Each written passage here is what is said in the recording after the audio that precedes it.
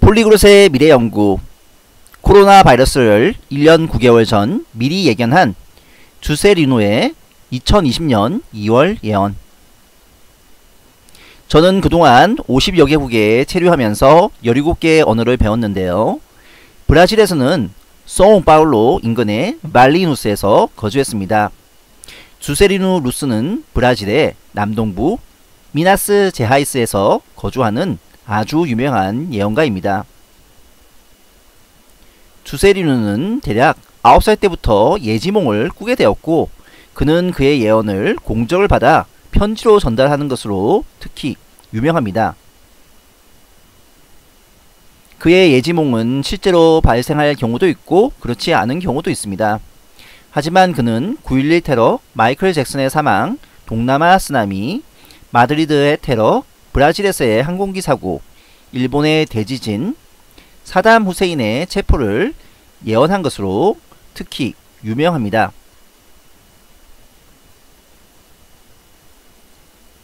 주세리누는 2018년 3월 26일 여행지 노르웨이에서 중국 우한중앙병원의 32살 안과 의사인 이문양, 리원양에게 영문으로 편지를 보냈습니다. 그 내용은 그가 2019년 12월 30일 채팅으로 동료 의사들에게 새로운 바이러스나 박테리아의 발생을 알릴 것이니 특별히 주의하라는 것을 포함하고 있습니다. 이문양은 경험이 많은 감염학 의사가 아니었고 석사학위의 안과 의사였습니다. 주세리노는 그의 편지에서 중국 본토에서만 3만 5천 명이 감염되고 1000명 이상의 사망자가 발생할 것이라고 예언했습니다. 그리고 약 24개 국가가 바이러스로 영향을 받을 것이라고 예언했습니다. 저도 중국에서는 웨이신이라고 하는 위챗 어플을 사용하는데요.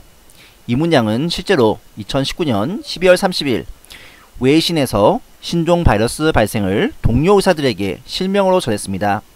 하지만 사람들은 그를 무시했고 2020년 1월 3일 우한시 공안지 즉 공안국에서는 그를 유언비어 날포로 소환합니다. 안타깝게도 2월 20년 2020년 2월 7일 그도 바이러스로 유명을 달리합니다. 조선일보에서는 2020년 1월 10일경 신종 바이러스 소식을 국내에 처음으로 전파합니다. 그런데 그의 예언은 무려 1년 9개월이나 앞선 것이었습니다. 저는 2019년 12월 그의 1월달 예언을 올렸는데요. 그 내용은 한국과 일본에서 감염병이 창궐한다는 내용이었는데요. 신종 코로나 바이러스로 실현되었고요. 파키스탄에 대한 공습이 발생한다는 예언은 이웃 이라크에 대한 공습으로 실현되었습니다. 그리고 중국과 베트남에 항공기 문제가 생긴다는 예언은 이란과 아프간에서 발생했습니다. 특히에서 주택이 붕괴한다는 예언은 지진으로 38명이 숨지고 1800명이 부상하는 것으로 실현되었습니다. 주세리누의 예언은 브라질에 대한 것이 많지만 30여 개국의 미래 뉴스를 포함하고 있습니다. 저는 매일 빅데이터로 한국과 미국, 일본, 중국, 러시아, 유럽 중동의 새로운 소식을 3만 4천 건 이상 분석합니다.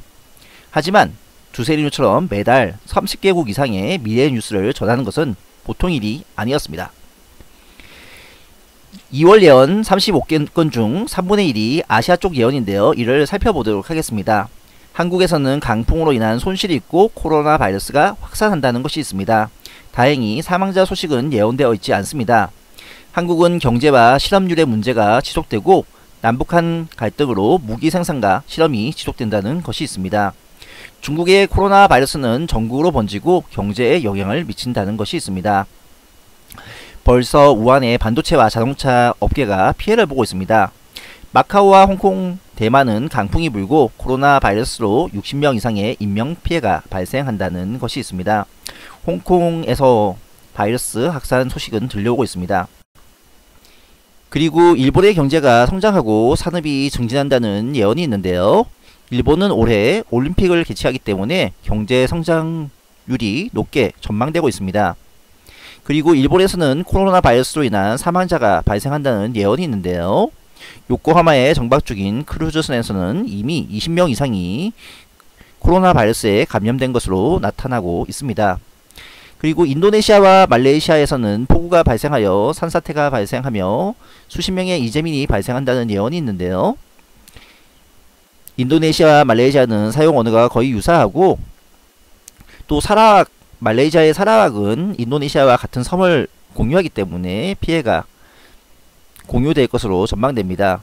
그리고 필리핀에서는 지진이 발생하고 강력한 태풍이 접근한다는 예언이 있습니다.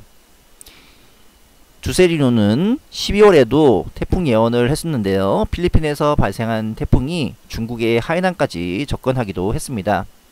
그리고 스리랑카에서는 폭우로 많은 희생자가 발생한다는 예언이 있습니다. 스리랑카는 지금 건기이지만 각별히 조심할 필요가 있습니다.